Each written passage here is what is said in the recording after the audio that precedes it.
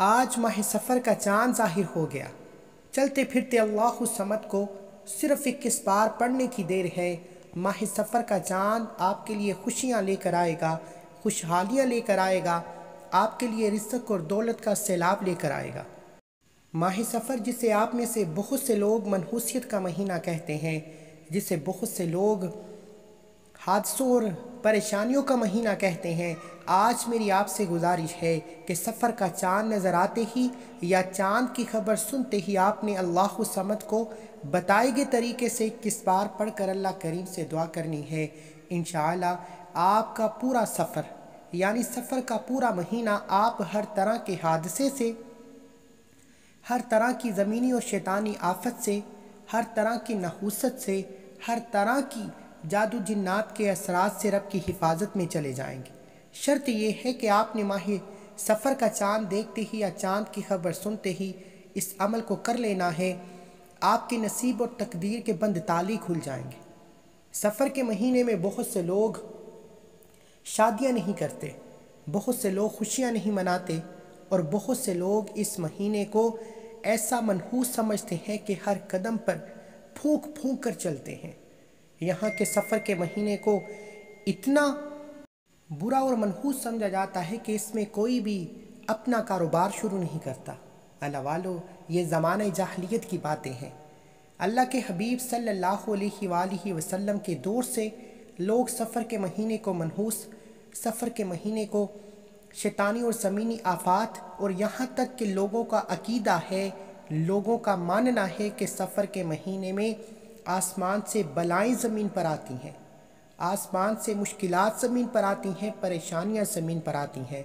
आपसे मेरी हाथ जोड़कर गुजारिश है कि आप माह सफ़र का चाँद देखते ही अल्लाह समद का ये ख़ास वजीफ़ा इक्कीस बार बताए गए तरीके से पढ़ लीजिए। इन सफ़र का महीना आपके लिए रहमत और बरकत वाला साबित होगा, क्योंकि अल्लाह के हबीब सल्लल्लाहु अलैहि वसल्लम ने सहाबी के सवाल पर कि सफ़र का महीना कैसा महीना? तो अल्लाह के हबीब ने फरमाया कि अल्लाह के सहाबी, सफ़र का महीना अल्लाह का महीना है। ये बाकी महीनों की तरह रहमत और बरकत वाला महीना है। इस महीने में अल्लाह आपकी दुआएँ भी कबूल करता है, आपकी हजात को पूरा भी करता है। और आप रब करीम से जिस चीज़ की हाजत करते हैं, वो गैब से पूरी होती है।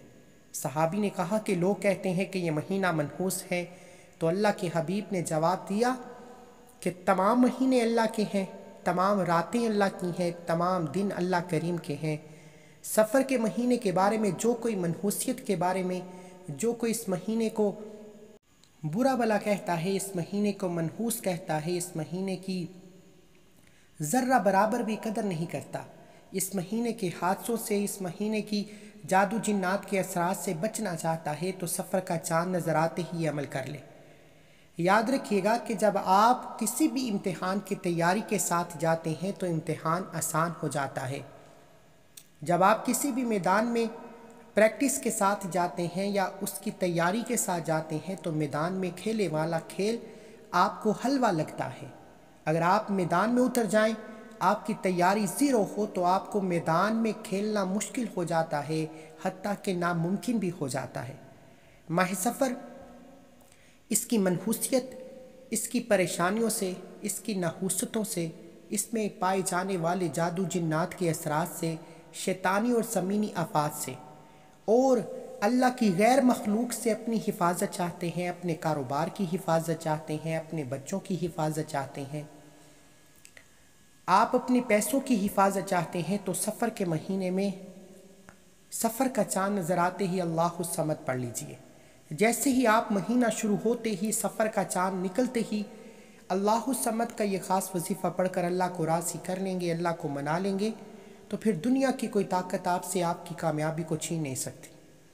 अल्लाह समद के साथ आपको एक ऐसा वजीफ़ा बताऊँगा जिसे पढ़ने के बाद आप रब करीम की हिफाजत में चले जाएँगे और जो बंदा अल्लाह की हिफाजत में चला जाता है, जो बंदा अल्लाह और अल्लाह के हबीब की हिफाजत में चला जाता है, फिर ना तो जादू जिन्नात असर करते हैं ना ही शैतानी और समीनी अफात आपका कुछ बिगाड़ती हैं, आपके बेड़े पार हो जाते हैं, आपकी बिगड़ी संवर जाती है। अल्लाह वालो, ये मैं बार बार कह रहा हूँ, ये मौका साल में एक बार आता है। आज माह सफ़र का चाँद देख कर आपने अल्लाह समत का ये ख़ास वजीफ़ा लाजमी पढ़ना है आज इस अमल को करने से। अगर आप पूरा साल रब की हिफाजत में चले जाएँ जादू करने वाले पर वापस पलट जाए, बेटियों के रिश्ते हो जाएँ, माकूल रिश्ते खुद चल कर आ जाए। नौकरी जिसके लिए आप ठोकरें खाते हैं, वो नौकरी खुद चलकर आपके घर तक आ जाए। तो इससे बढ़कर आप और क्या चाहते हैं? आप दुनिया के किसी भी कोने से ताल्लुक़ रखते हैं। आप चाहे पाकिस्तान में हैं, आप सऊद अरेबिया में हैं, आप इंडिया में हैं, आप बांग्लादेश में हैं, आप नेपाल, मस्कत, ओमान, जापान कहीं भी मौजूद हैं। जब आपके मुल्क में माह सफ़र का चाँद नज़र आ जाए या चाँद की खबर सुनकर आपने इस अमल को कर लेना है, क्योंकि बाज़ात मौसमी ख़राबी की वजह से चाँद नज़र नहीं आता। इसलिए चाँद की खबर सुनकर आपने माह सफ़र का चाँद देख कर ये वसीफ़ा पढ़ लेना है। अल्लाह करीम की कसम, अल्लाह ऐसे इसबाब से नवाजेगा। अल्लाह इतना नवाजेगा कि आपको समझ लग जाएगी कि इस महीने को क्यों मनहूस कहा जाता है। इस महीने में लोग क्यों कारोबार नहीं करते हती के लोग शादियाँ तक नहीं करते? इस महीने में लोग किसी भी तरह की खुशी नहीं मनाते। अल्लाह वालो, असल हकीकत ये है कि सफ़र के महीने में अल्लाह की हिफाजत बहुत ज़रूरी है। जब आप अपने आप को अल्लाह के हवाले कर देते हैं, अल्लाह की हिफाजत में चले जाते हैं, अल्लाह के सपुर्द कर देते हैं, फिर दुनिया में भी और आखिरत में भी आपकी कामयाबी मुकद्दर हो जाती है। आप में से जो कोई बेटी परेशान बैठी है, रिश्ता नहीं हो रहा, रिश्ते के लिए ये वसीफ़ा पढ़ें। इन सफ़र का चाँद आपके लिए बेहतरीन रिश्ते लेकर आएगा। क्योंकि नया चाँद जब निकलता है तो हर इंसान के नसीब और तकदीर में वाज फ़र्क पड़ता है। इसलिए सफ़र का नया चाँद नज़र आते ही आपने इस वजीफ़े को लाजमी करना है। अगर आप में से कोई मकरूस बैठा है, कर्ज़ इतना है कि घर के हालात ठीक होने का नाम नहीं लेते बाल बाल कर्ज में डूबा हुआ है। लोगों की बातें सुनकर थक चुके हैं। हत्या के घर से निकलना मुश्किल हो गया है। आप सफ़र का चाँद देकर अल्लाह समद को पढ़िएगा। ये चाँद आपके लिए कर्ज से निजात लेकर आएगा। बेटियाँ अपने रोशन नसीब के लिए पढ़ लें। माँ बाप अपने बच्चों के रोशन नसीब के लिए पढ़ लें। हती कि आपके घर में कोई बीमार बैठा है। सफ़र के महीने में लोगों का कहना है कि जादू जिन्नात बहुत होते हैं। सफ़र के महीने में सफली अमाल बहुत से होते हैं। सफली अमाल के साथ सफ़र के महीने में बहुत सी बलाएँ, बहुत सी मुसीबतें आसमान से ज़मीन पर उतरती हैं और अपने साथ मुश्किल लेकर आती हैं। आपने सफ़र का चाँद देख कर अल्लाह समद का ये ख़ास वजीफ़ा पढ़ना है। इन जादू करने वाले पर वापस पलट जाएगा। हर तरह की शैतानी, ज़मीनी आफात और बलाओं से आप अल्लाह करीम की हिफाजत में चले जाएँगे। मेरी आपसे गुजारिश है कि इस सफ़र के चाँद की कदर करें। मेरी आपसे गुजारिश है कि ये अमल साल में एक बार किया जाता है और इस अमल को करने वाला आज तक कभी सफ़र के महीने में ना तो हादसे का शिकार होता है, ना ही किसी जादू जिन्नात का शिकार होता है और सफ़र की मनहूसियत से हमेशा के लिए बचा रहता है। अल्लाह वालो, खुदारा, दुनिया जहान के तमाम काम छोड़कर सफ़र का चाँद देकर यह अमल लाजमी करें। बाज़ात आप लापरवाही कर जाते हैं। फिर जब सफ़र के महीने में कोई हादसा पेश आता है, कोई बीमारी आती है, कोई परेशानी आती है, कोई बड़ा नुकसान हो जाता है, फिर सदका खैरात करते हैं बड़े बड़े हदिये देते हैं, फिर अमाल करते हैं, फिर अल्लाह से अपने गुनाहों की तोबा करते हैं। इससे बेहतर तो ये है कि आप सफ़र का चाँद देखते ही, सफ़र का महीना शुरू होते ही, ये छोटा सा अमल कर लें और अल्लाह करीम को राज़ी कर लें। आइए वक्त की नज़ाकत को मद्देनजर रखते हुए आज के इस अमल की तरफ़ चलते हैं। इससे पहले अगर आप में से अभी भी कोई इस चैनल पर नया बैठा है तो रिसाला वज़ाइफ चैनल को भी सब्सक्राइब कर लें, वीडियो को लाइक और शेयर करें। ऐसे बहुत से वज़ाइफ, बहुत से अमाल आपके हवाले डेली बेसिस पर करता रहूँगा। करना क्या है? माह सफ़र का चाँद देख ले तो बेहतर है, नहीं तो चाँद की खबर सुनते ही आप दुकान, दफ्तर, कारोबार, सफ़र कहीं भी मौजूद हैं। चलते फिरते ये अमल कर लो। रात नौ, दस, ग्यारह बजे पढ़ लो। यकम सफ़र का पूरा दिन मौजूद है, पढ़ लो। लेकिन इस अमल को कर लेना अगर आप सफ़र की मनहूसियत से, सफ़र की परेशानियों से, हादिसों से, जादू जिन्नात से बचना चाहते हैं।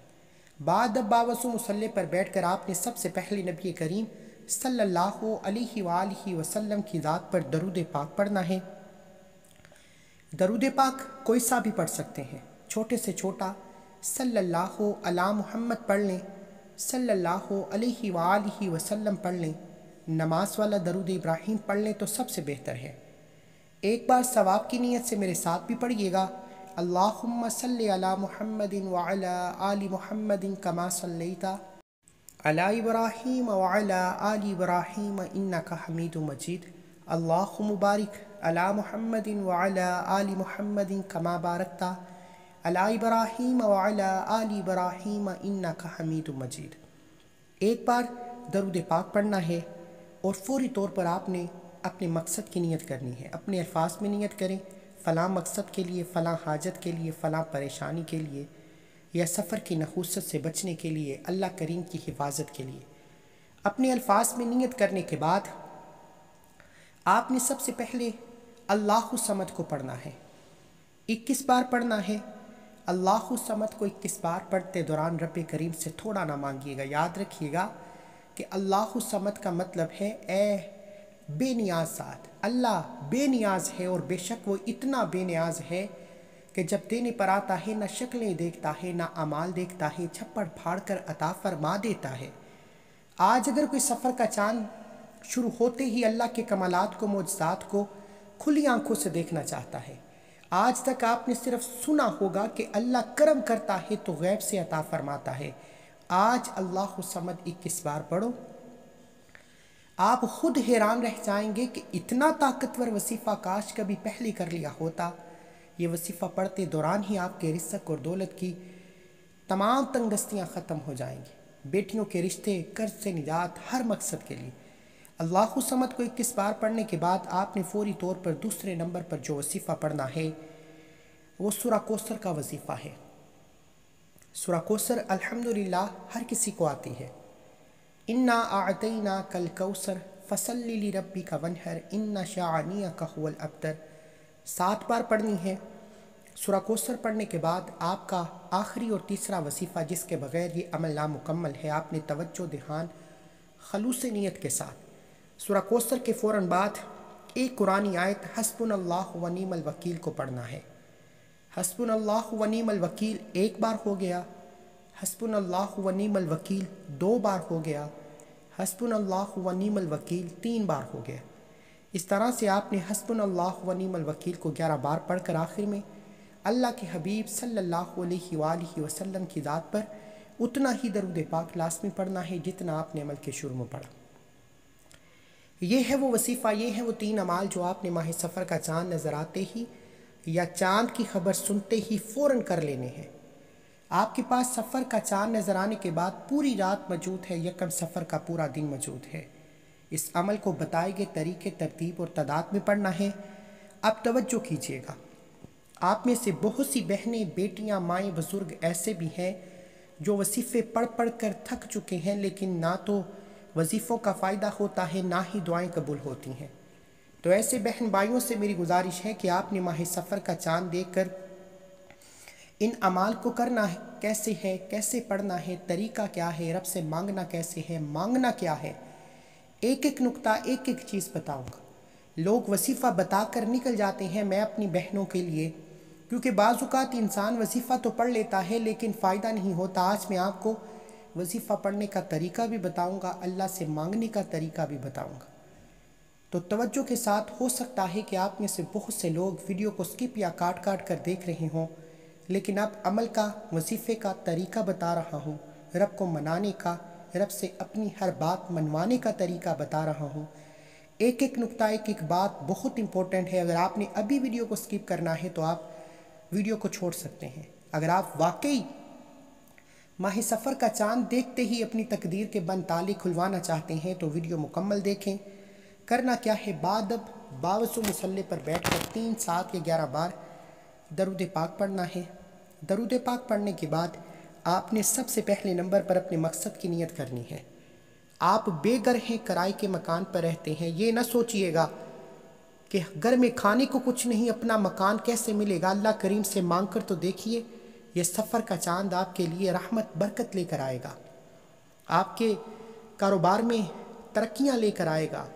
आप बेटी के रिश्तों के लिए पढ़ लें नाफरमान औलाद के लिए पढ़ लें कर्ज से निजात के लिए पढ़ लें मनपसंद नौकरी, शादी के लिए पढ़ लें रिश्तों में आसानी के लिए पढ़ लें यानी आप में से जिसका जो भी मसला है, जिस भाई का जो मसला है, वो अपने अल्फाज में नियत करे। जिस बहन का जो मसला है, वो अपने अल्फाज में नियत करे। नियत करने के बाद आपने एक बार आऊज़बिल्लिमिनशैतवानराजीम बिसमीम पढ़कर वसीफ़े का आगाज़ करना है। और सबसे पहले नंबर पर आपने जो वसीफ़ा पढ़ना है, वो अल्लाह समद का वसीफ़ा है। अल्लाह समद से आपकी तमाम तंगदस्तियाँ, तमाम गुरबत, तमाम परेशानियाँ ख़त्म हो जाएँगी। रिजक इतना आएगा कि आपको दोबारा कभी किसी और वसीफ़े की ज़रूरत नहीं पड़ेगी। अल्लाह समद एक बार हो गया, अल्लाह समद दो बार हो गया, अल्लाह समद तीन बार हो गया। इस तरह से आपने अल्लाह अल्लाह समद अल्लाह समद को हाथ की उंगलियों पर या तस्वीर के दानों पर सिर्फ़ आपने 21 बार पढ़ना है 21 टाइम्स पढ़ना है। याद रखिएगा कि ये अल्लाह की बेनियासी वाली सिफत है कि अल्लाह बेहद बेनियाज है। अगर आप अल्लाह की बेनियाजी से माला माल होना चाहते हैं तो सिर्फ़ 21 बार सफ़र का चाँद देकर ये वसीफ़ा पढ़ लो। चलते फिरते पढ़ लो। किसी भी हालत में ये वसीफ़ा पढ़ने की इजाज़त है। और आपने इसके बाद सुरा कोसर पढ़नी है। सुरा कोसर को सात बार पढ़ना है। सुरा कोसर सफ़र का चाँद देख पढ़ने का फ़ायदा क्या है? जैसे ही आप अल्लाह समद के बाद सुरा कोसर पढ़ेंगे तो आपकी सफ़र के महीने में हर तरह की नहूसत से, हर तरह की शैतानी ज़मीनी आफात से, हर तरह के जादू जिन्नात से, हर तरह के हादसे से, हर तरह की परेशानी और नुकसान से। अल्लाह की हिफाजत नसीब होगी। अगर आप वाकई अल्लाह की हिफाजत में जाना चाहते हैं, हर कदम पर कामयाबी को खुली आँखों से देखना चाहते हैं तो माह सफ़र का चाँद नज़र आते ही अल्लाह समद के बाद सुरा कोसर को सात बार पढ़ लें। बिस्मिल्लाहिर्रहमानिर्रहीम। इन्ना आतना कल कौसर फसली रब्बी का वनहर। इन्ना शानिया कहवल अबतर। एक बार हो गया। इन्ना आतना कल कौसर फसली रब्बी का वनहर। इन्ना शानिया कहवल अबतर। दो बार हो गया। इन्ना आतना कल कौसर फसली रब्बी का वनहर। इन्ना शानिया कहवल अबतर। दो बार हो गया। इस तरह से आपने सुरा कौसर को सात बार पढ़ना है। रब काबा की कसम। जिस बंदे से अल्लाह राज़ी हो जाए, सात आसमानों और ज़मीनों का रिस्क अता फरमाएगा।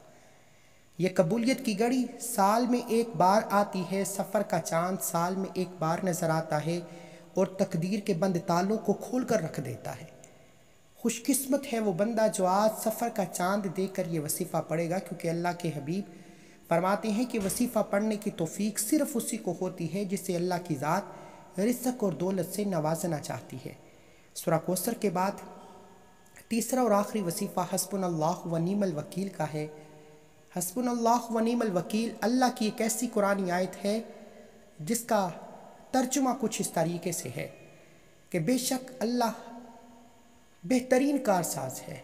अल्लाह फरमाता है, जब कोई बंदा हसबन अल्लाह वनीमल वकील का ज़िक्र करता है अल्लाह उस बंदे से इतना राज़ी होता है कि फ़रिश्तों से पूछता है, ये कौन है जो हसबन अल्लाह वनीमल वकील का ज़िक्र कर रहा है? फ़रिश्ते उस बंदे का नाम पेश करते हैं। अल्लाह फरमाता है, ए फ़रिश्तों, तुम गवाह रहना।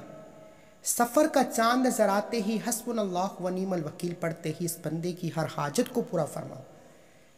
फरिश्ते अल्लाह के हुक्म से आपके घर आ जाते हैं रिस्क और दौलत छोड़ जाते हैं। लोग दरवाज़ा खटखटा कर पैसे दे जाते हैं। वो जो सारी ज़िंदगी ना मिल सका, वो जो वो जो सारी उम्र ना मिल सका, आज माह सफ़र का चाँद नज़र आते ही ये तीन अमाल बताए गए तरीके, तरतीब और तादाद में पढ़ते ही मिल जाएगा। जिसको यकीन नहीं आता, वो ये तीन अमाल बताए गए तरीके, तरतीब और तादाद में पढ़े। अल्लाह करीम से दुआ करे, अपनी हजात के लिए हाथ उठाए ये सफ़र का चाँद आपके लिए खुशियाँ लेकर आएगा। वो जो कहते हैं कि ये महीना मनहूसियत का है, आपकी खुली आँखों से मौजात नज़र आएँगे और आप हैरान हो जाएँगे कि जिस महीने को हम मनहूसियत का, जिस महीने को हम परेशानियों का, मुसीबतों का, हादसों का, नुकसान का बायस समझते थे। ये महीना तो हमारे लिए रहमत और बरकत का बायस हो गया। मेरी आपसे गुजारिश है कि आप का चाँद ज़ाहिर होने के बाद ये तीन अमाल दुनिया के तमाम काम छोड़कर करने हैं। आप चलते फिरते पढ़ लें, आप किसी भी हालत में मौजूद हैं, ये तीन अमाल आपने लाजमी करने हैं। ये तीन अमाल बताए गए तरीके, तरतीब और तादाद में पढ़ने के बाद आखिर में अल्लाह के हबीब सल्लल्लाहु अलैहि वसल्लम की ज़ात पर उतना ही दरूद पाक लाजमी पढ़िएगा, जितना आपने अमल के शुरू में पढ़ा। वजीफ़ा मुकम्मल होते ही सफ़र का चाँद यानी सफ़र का महीना शुरू होते ही अपने हाथ से दस, बीस, पचास सौ जिसको जितनी तोफ़ीक है सदका खैरात करे। सदका बलाओं को टालता है मुश्किल को ख़त्म करता है, परेशानियों से जान छुड़ाता है। दुआ ही के अल्लाह करीम मेरा सुनाना, आपका सुनना अपनी पाक पार के इलाही में कबूल व मंजूर फरमाए, जो मांगा मुकद्दर फरमाए, जो नहीं मांगा बिन मांगी अता फरमाए। अल्लाह के निन्यानवे नामों में से कोई एक नाम कमेंट सेक्शन में ज़रूर लिखिएगा। अल्लाह हम सब का हामी नासिर हो। इसके अलावा सफ़र के महीने में अगर आप किसी भी तरह के मसले का शिकार हैं, अपना मसला लिखिए। आपको फौरी तौर पर इस्तारा करके जवाब दे दिया जाएगा।